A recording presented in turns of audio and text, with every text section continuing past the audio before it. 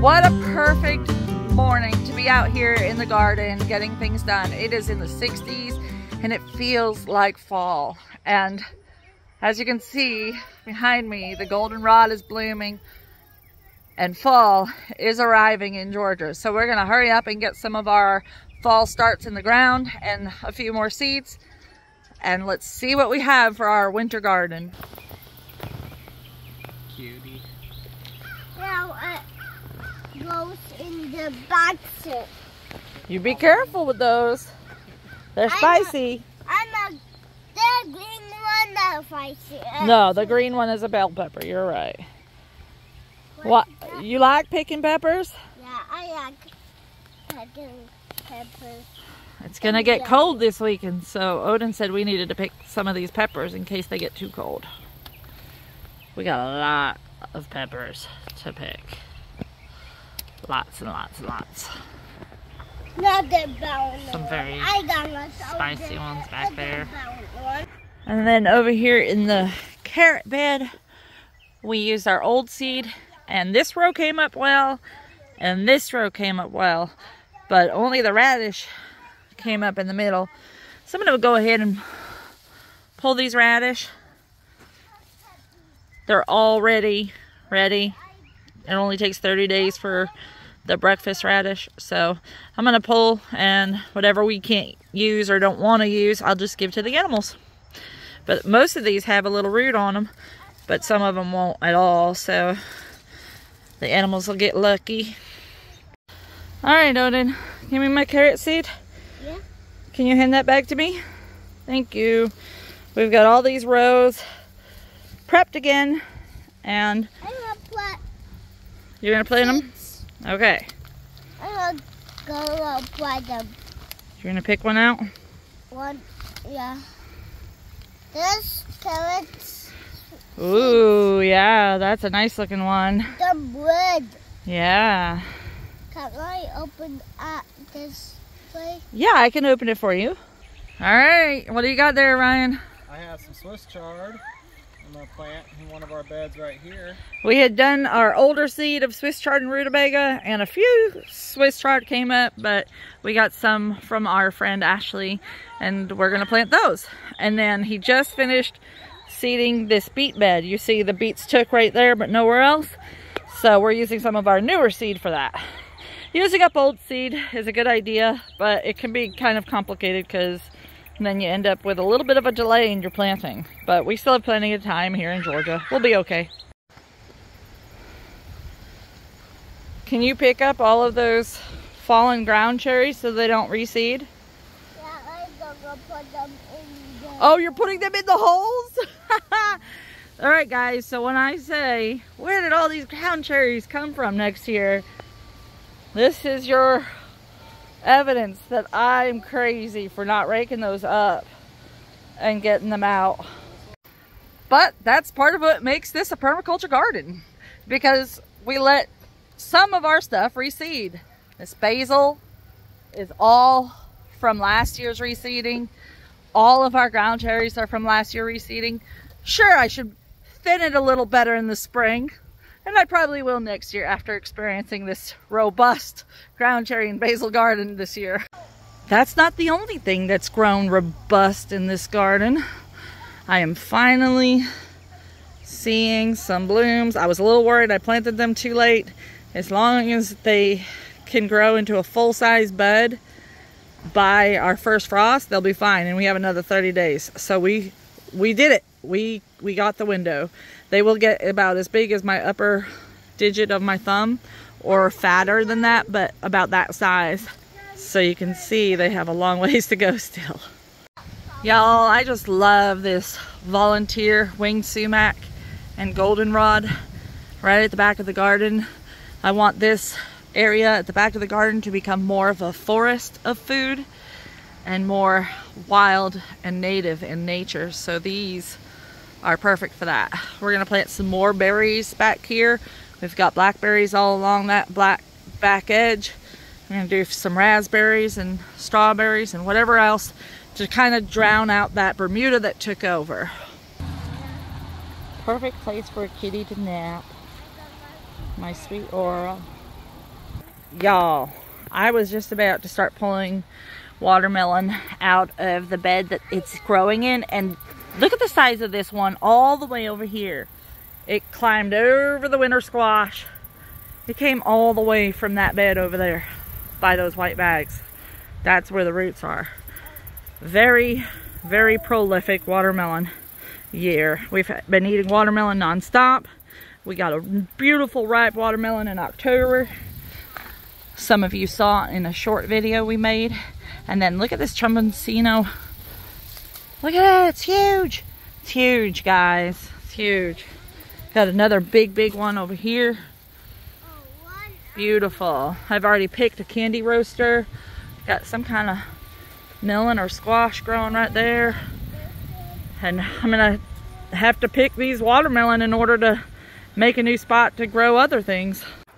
Speaking of permaculture gardening, our Egyptian walking onions are multiplying at the base. We have multiple bulbs growing so we can split them and divide them. But this right here, this tiny guy, this is a bulbil that dropped. And you can see there's one there. There's one over there. There's little bulbils that have dropped. A lot of them dropped right here near the plant. You see, like that one right there. So this is a great permaculture plant.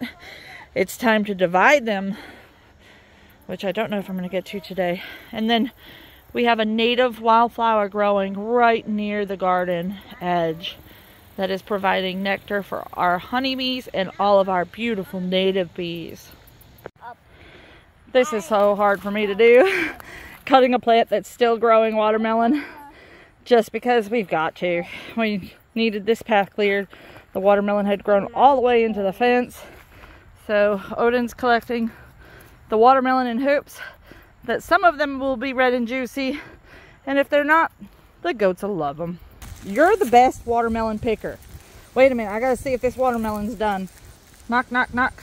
Does it sound hollow? Knock, knock, knock. I think this one's ready to be picked. He's super sweet. I Odin. You're Odin? I thought you were a watermelon. You were growing in the watermelon patch. I never seen this one. Y'all, I honestly thought that these tiny watermelons were not going to be anywhere close to ripe. But they're sitting over here and this one just split open. And it's delicious. That one's splitting too. Cray cray. I guess they'll be yummy. You gonna rip that one open? Yeah. Watermelon. Watermelon everywhere. Got piles everywhere.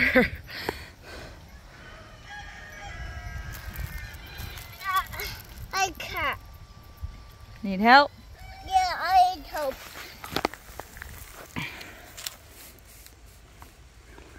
Looks like it's pretty white inside actually. Maybe it was inside. Uh, not was inside. Super juicy though. I wonder how it tastes. Let me try it. Kind of tastes like a cucumber. Not bad. It'd be good like a salad. Okay. It'd be good like a salad, I think. Wow, Ryan, that looks great. I love the grid pattern. What'd you do there? So I've got two different types of Swiss chard and I planted, like you said, the grid pattern. I put garlic, seed garlic in between the Swiss chard. Very nice. We got our garlic seed from Mary's Heirloom Seed. Really excited. Which one is So we got uh, Inchelium red seed garlic for the majority of this bed. And then we have music seed garlic for this small end over here. awesome? I think it's gonna grow really well together. Me too. Mom, mom, mom. Mom? I almost. I see you. Huh? What are you doing? Show me. What'd you do to that watermelon? Let me see it.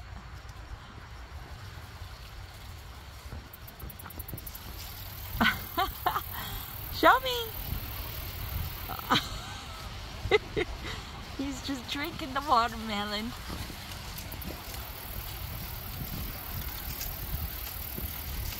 All right, so this is where the watermelon were planted.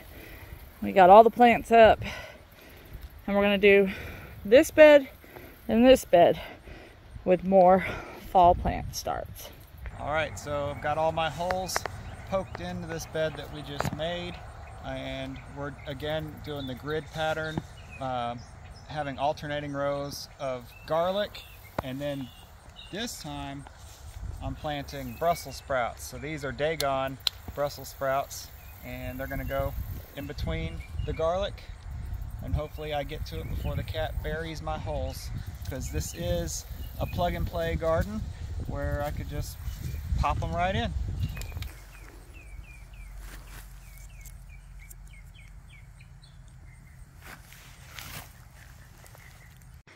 All right. So guys, I'm planting and I am having fun. You're planting and you're having fun? What are you planting? Can you tell us what that is? Mm, black, Broccoli? blacky. Yeah. He's planting and he's having fun. He wanted to tell the video. He's doing a good job. He really does. Look at that. That's some high quality planting right there. He does a very good job. Look at that. He puts it in the hole, he presses it down, he covers up the roots with the soil. He does it perfect. Good job, buddy. Ta-da! You want more? Watch out. Me too. That's sweet pepper. I think that's a spicy one. I think so. I think that's a, it came from the spicy bed. Yeah, we we're picking peppers. We've got a lot of peppers to pick. I don't think we're gonna try to focus on that. Instead, we're gonna focus on getting more beds prepped so that we can plant. So we got the dragon tongue beans seed harvested and the ground cherries as cleaned up as we can, but they're just gonna have to be a million volunteers next year. And then all the kale and collards that were in that bed are going to go to the animals because they are full of insect. There's just caterpillars and aphids and and we could pick some off and we did actually save some but um for dinner tonight we have a whole bunch more kale that needs to be planted so it's fine it's it's perfect and giving it to the animals make sure that it's no waste what are you harvesting now Um, some basil. Basil. Good job. Daddy's adding some fresh compost to the beds. And then we'll get busy planting some broccolini and kale. Or are we doing cauliflower? I know we want to do broccolini in one bed. Yes. And then kale or cauliflower in the other. Maybe plant a little bit of each tray in each bed because we're running out of space. We need more garden beds built. we do. Can we get a bucket for our tractor so we can move the mulch piles faster? Because I would have already had a bunch of beds over there where the mulch piles are. We need a bucket on a tractor for sure. But that's the bucket costs as much as the tractor. I sure wish it was that easy just to have a bucket on our tractor and move all that mulch. But unfortunately, we're doing it by hand, wheelbarrow after wheelbarrow. So that pile right there is where I would have a whole nother system of beds. I'd probably plant the rest of our plants no problem, but it requires way more physical labor than I'm capable of doing. And I've got Ryan doing a lot of physical labor just to get these two beds done. So I don't know that there'll be much physical labor time left in the day to get any of that prepared. But we're getting so much more done over here that I'm very satisfied with what we've been able to plant already.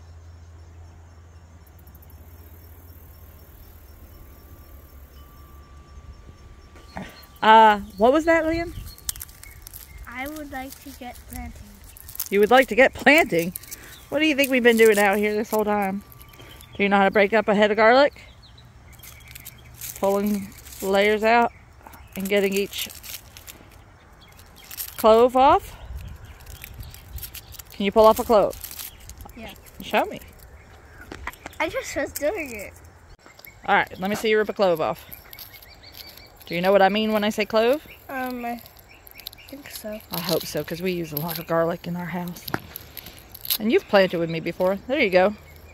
Remember which side goes up? No. Do you remember which side gets planted pointing up?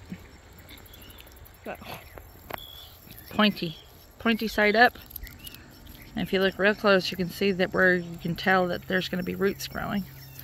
Pointy side up, where the leaf will grow from. Okay. Okay. Just do every other hole and then opposite in the next row. And that makes it a nice grid pattern with our broccolini. I'm tired, Mama. I'm tired too. You boys have been a great help. Good? Good? You did great. So they've got all the kale planted and the broccolini. We've got the garlic added to this one. Now we're going to add garlic to this one. Whew! Good workers. Ryan. I didn't want you to hurt yourself today too bad. Looks like you got a helper though. Yeah, it's super lightweight right now, so it's actually a great time to do this. Good. I hope it doesn't hurt your back. Because I know it would mine. And my syncope. Oof.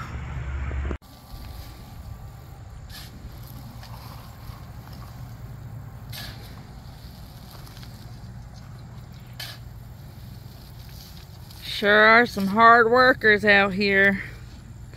Look at this. It's looking like a garden again instead of a jungle. Still got quite a bit of jungle, but plenty of new beds going in. We'll have another bed or two if we get rid of the whole pile. Yay, my hero. And another watermelon break. How is this one? Um, yeah, me. Is it a sweet one? Yeah. Even this little thing right here, smaller than my hand, was ripe. I am so surprised. We got a few more to last us for the next couple of weeks. Watermelon has been a hit this summer.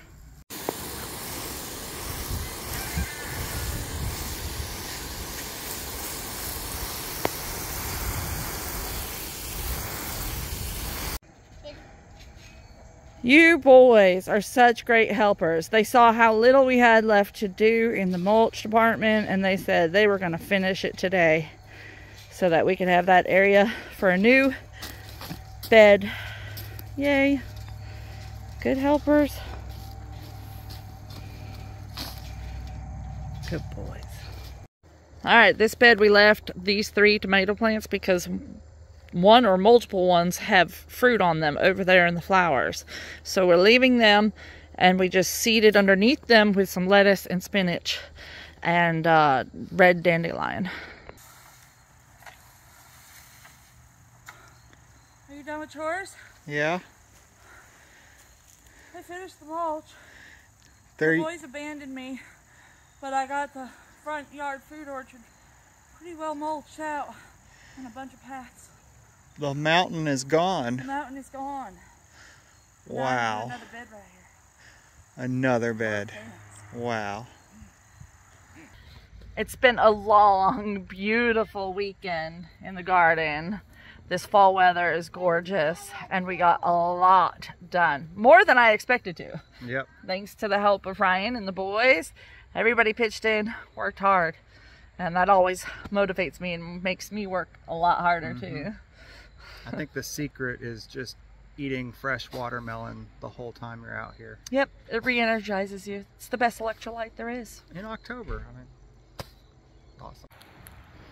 Got these two and this bed all finished. I didn't add garlic in this one yet. I probably will. I just didn't have the energy or time. I'm going to set up this square greenhouse right here to put some more frost tender plants like lettuce.